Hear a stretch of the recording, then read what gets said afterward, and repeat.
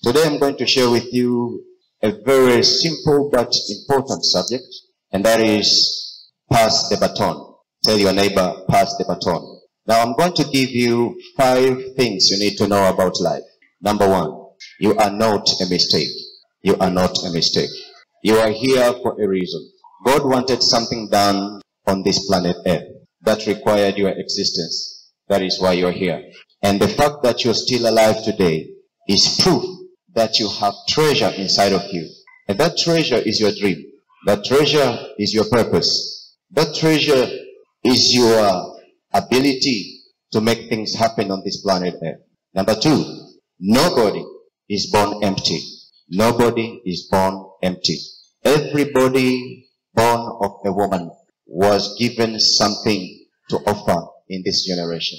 You were not born empty. You were born with something. And generation needs what you are carrying on the inside of you.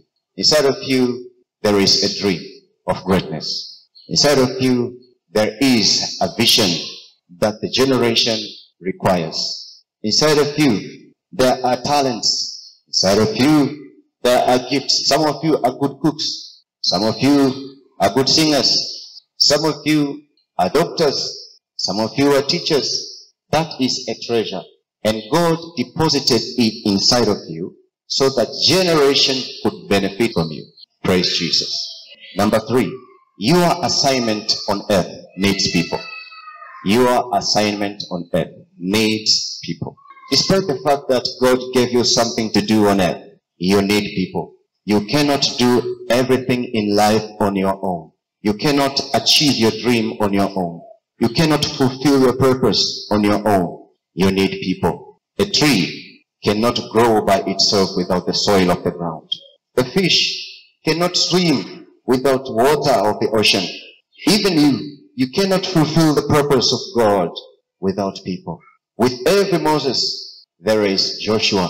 And with every Elijah, there is Elisha. With every Adam, there is Eve. Why am I telling you this? If you want to see yourself to another dimension that God has intended for you, if you want to see your dreams coming to pass, if you want to see the purpose of God fulfilled in your life, you need people.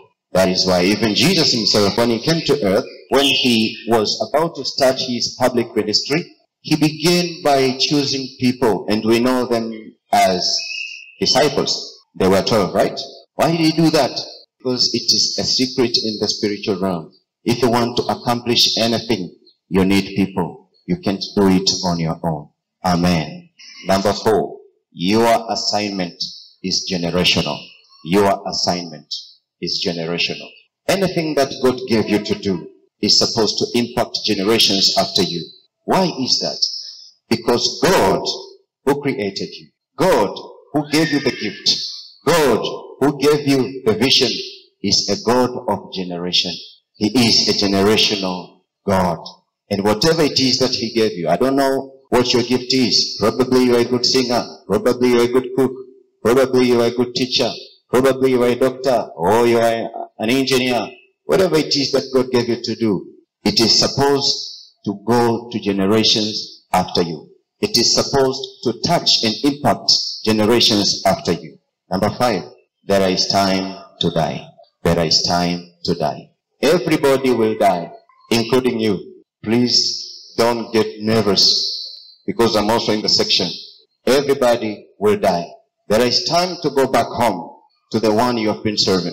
If you've been serving God in your area of gifting, death will take you back to God. If you have been serving Satan in your area of gifting, death will take you back to Satan. Are you following my drift? Amen. Now, when you know something is about to happen, when you know death is coming, the best thing you can do in this life is to prepare yourself because the death in itself is inevitable. All of us are going to die. The best thing we can do is to prepare for it.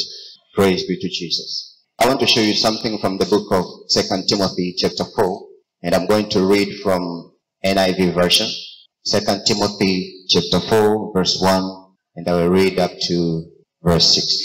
The Bible says, In the presence of God and of Christ Jesus, who will judge the living and the dead, and in view of his appearing in his kingdom, I give you this church. Preach the word. Be prepared in season and out of season. Correct, rebuke, and encourage with great patience and careful instruction. For the time will come when people will not put up with sound doctrine. Instead, to suit their own desires, they will gather around them a great number of teachers to say what their itching ears want to hear. They will turn their ears away from the truth and turn aside to myths. But you keep your head in all situations. Endure hardship. Do the work of an evangelist. Discharge all the duties of your ministry. For I am ready being poured out like a drink offering, and the time for my departure is near. I've fought the good fight. I've finished the race. I've kept the faith. Now there is in store for me the crown of righteousness, which the Lord, the righteous judge, will award me on that day. And not only to me, but also to all who have longed for his appearing. Praise be to Jesus. Now this is Paul the apostle. And Paul was a faithful servant of God. He was given treasures by God to deposit on this planet earth. He had a vision to see the gospel of the kingdom reach many nations. But just like any other human being, Paul came to the end of his road. He was going to die and his death was not far away. His death was very near. And because he knew that, because he had that revelation, he had to talk to Timothy, his son, his spiritual son, his mentee, and he was giving him instruction. If you read from First Timothy to Second Timothy, you will realize that it is not an easy message. It was a message that is filled with instructions. It was a message that was filled with to-dos. Why was Paul telling Timothy everything he was telling him? He wanted to prepare Timothy to carry on the work that he, Paul himself, was doing for the glory of God. He knew he needed someone. Remember where we are coming from. If you have a dream in your life, if you have a vision, if you have a purpose, that purpose, that dream, that vision cannot be fulfilled unless there is a person to help you do it. People are equipped by God to help us fulfill our dreams. People are equipped by God to help us make our dreams come true. And Paul had this revelation and he knew through Timothy his dream would come to fulfillment. That is why he was talking to Timothy, his mentee. And he was telling him, Timothy, my son, preach the gospel. Preach the gospel. Now follow me carefully. In life, not everyone is called to preach. Standing in the pulpit and, you know, teaching the word of God. Not everybody was called to preach the gospel, like the way I'm doing. Some people were given other things to do to glorify God. For instance, if you are a singer, God has given you that to glorify His name. If you are a doctor, God has given you that position to glorify His name. If you are an engineer, God has given you that. It's your purpose. And He expects you to use it to glorify His name. In other words, whatever it is that you are doing in this life, you are serving God in your area of gifting in your area of expertise. So don't look down upon yourself. And I'm saying this just to encourage you. Just because you are not a pastor, just because you are not a preacher, just because you're not a prophet or a teacher like me, doesn't mean that God has not called you. God has called you in your own area of gifting or expertise. We need bankers in the kingdom of God. We need business people in the kingdom of God. We need singers. We need engineers to construct structures like this. Everything that God gave you to do, it's your purpose. And when you do it, you are serving God who gave it to you. Praise be to Jesus. Praise be to Jesus. But as for Timothy, Paul was urging him to preach. Paul was urging him to preach. In other words, Paul was passing the baton to Timothy. Paul was passing the baton to Timothy. To pass the baton means to transfer responsibility to another person. To pass the baton means to transfer responsibility or vision or dream or idea or invention to another person who is going to carry it forward on your behalf to another generation, even if you are no longer around on this planet Earth. Are we together? Amen? Alright. When you talk about passing a baton, the person you are passing the baton to is called a successor. Somebody say a successor. When you talk about success, it's not just about achieving what you wanted to achieve in life. Success means more than that. Success is generational. Success is having your dreams implemented even after you are dead. Success means having your projects still working even after you die.